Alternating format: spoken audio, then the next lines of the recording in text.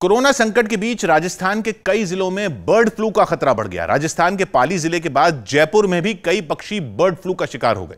बताया गया कि जयपुर के सांबर झील इलाके में बर्ड फ्लू की वजह से अब तक 60 से ज़्यादा पक्षियों की मौत हो चुकी है और वहाँ रह रहे सैकड़ों पक्षियों पर इस बीमारी का खतरा मंडरा रहा है, जिसे देखते हुए पशुपालन विभाग और स्वास्थ्य विभाग ने कई टीमों का गठन कर दिया। जयपुर से पहले जोधपुर और पाली ज़िले में भी कई पक्षी बर्ड फ्लू का शिकार हो चुके हैं।